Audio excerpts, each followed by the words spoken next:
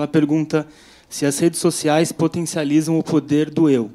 Uhum. É, algumas pessoas apelidaram o Facebook de a revista Caras do Povo Não Famoso, uhum. porque o sonho de todas, segundo ele, é uhum. é fazer sucesso algum dia.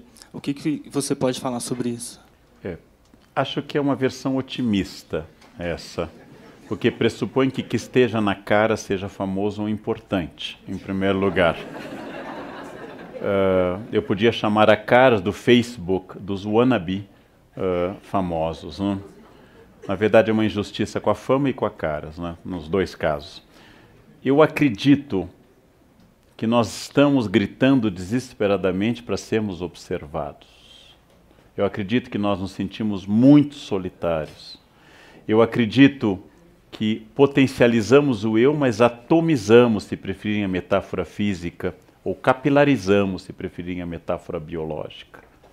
Nós temos desde a invenção da imprensa, século XV, na Alemanha, a invenção da grande imprensa de jornalismo, século XIX para o XX, a televisão no século XX e o rádio no século XX, nós temos um crescimento gigantesco da capacidade de comunicação com o grande público. Ainda estamos lidando com estes fatos, mas sem sombra de dúvida, as pessoas estão dando opinião sobre tudo e esse é um bom exercício. A minha pergunta é se alguém está ouvindo a opinião alheia se alguém está lendo a dos outros. Se eu tiver 35 grupos de WhatsApp, família, amigos, emprego, festa, etc. Se eu tiver três contas de Instagram, se eu tiver quatro perfis no Face, inclusive um fake para sacanagem, se eu tiver tudo isso, quem que eu estou lendo de fato? Se todo o meu tempo é consumido pela atualização dessas questões eu, como pessoa mais velha, assisti ao nascimento do celular, assisti ao nascimento do computador pessoal, vi tocar o primeiro celular em sala de aula. Os jovens não sabem disso, mas não havia celular antes. Eu sei que essa ideia é, é uma ideia muito extraordinária. E como me dizem algumas alunas, não posso desligar, professor, eu tenho filhos. Como será que nossas mães nos criaram sem o celular? Hã? Ou seja, minha preocupação não é com a tecnologia. Eu uso o celular e gosto muito, e ele é muito útil, ele resolve muitas coisas para mim. A minha preocupação não é tirar ou reforçar o celular. Isso é secundário, isso é uma pergunta secundária. A minha preocupação é quem sou eu que preciso estar presente com tantas personagens, em tantos espaços, para que tanta gente me veja.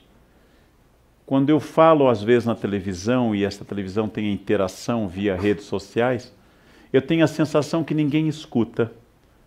Eu tenho a sensação que muitos telespectadores estão casados comigo, não me escutam e não temos sexo.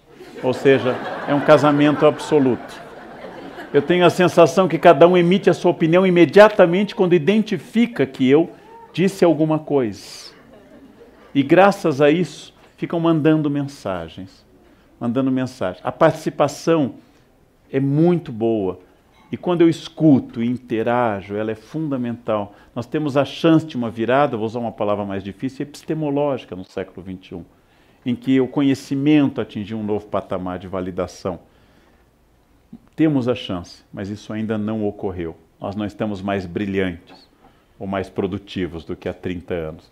Apenas estamos incrivelmente mais ocupados com o mundo virtual. Eu saí com uma profissional de arquitetura que fazia um trabalho para mim e ela sentou comigo para jantar e discutir um problema de reforma e ela atendeu o celular. Eu fiquei esperando, certamente era algo grave continuamos a conversar, ela atendeu novamente. Eu esperei, certamente era algo gravíssimo que impedia a nossa reunião.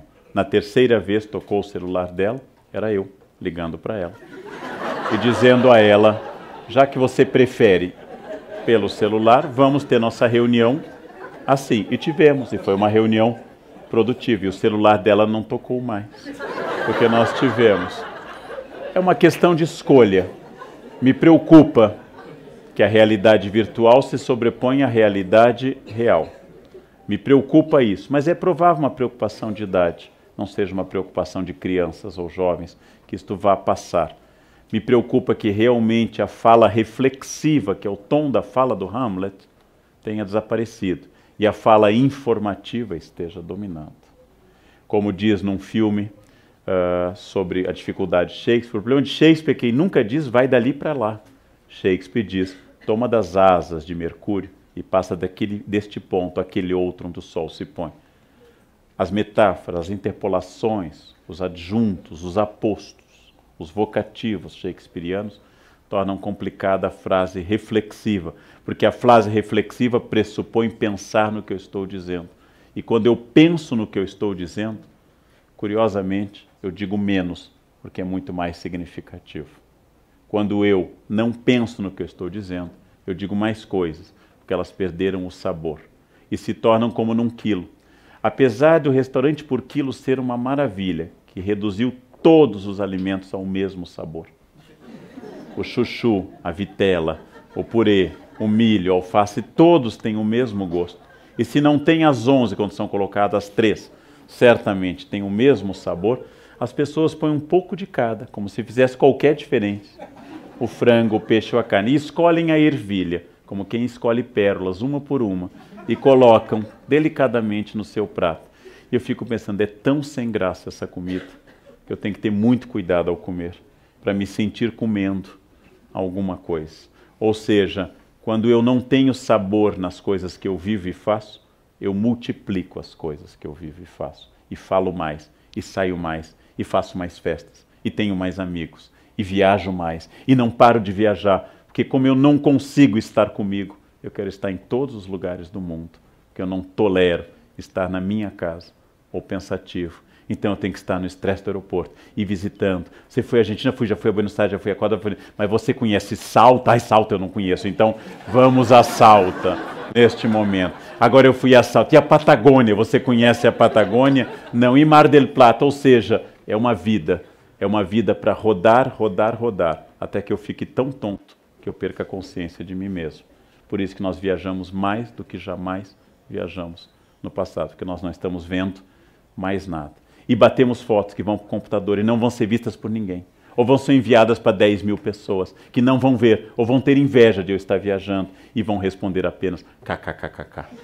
Ou seja, este é o vazio que o Hamlet estranharia, já que o Hamlet faz toda a peça dele, a mais reduzida de todas, num único espaço da corte, num único espaço de Elsnor, em salas do palácio.